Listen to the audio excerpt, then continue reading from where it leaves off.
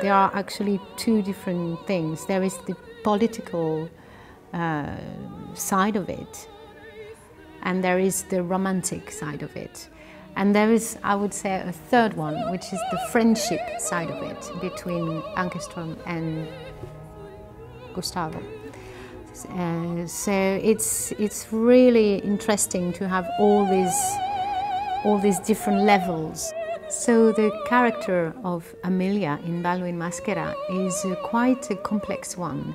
She's she's mar married and she's in love with another man and she she is in a huge conflict and she's trying everything in her power to resolve that conflict.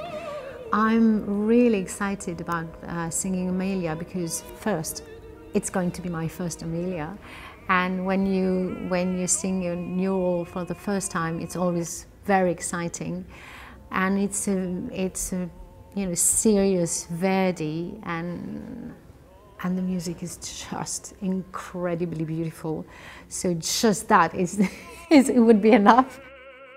I'm very, very lucky to be able to come back to Holland Park regularly. It's one, I think, of the most exciting festival, and they do absolutely stunning repertoire.